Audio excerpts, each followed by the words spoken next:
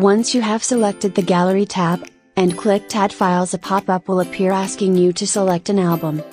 We highly recommend choosing Create a new album, and give it a name related to the project you are working on.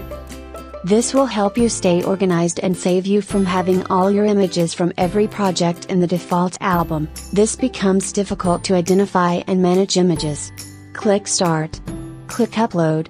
And navigate to the folder containing your images. Select all your images and click Open. Your images will now upload into the software.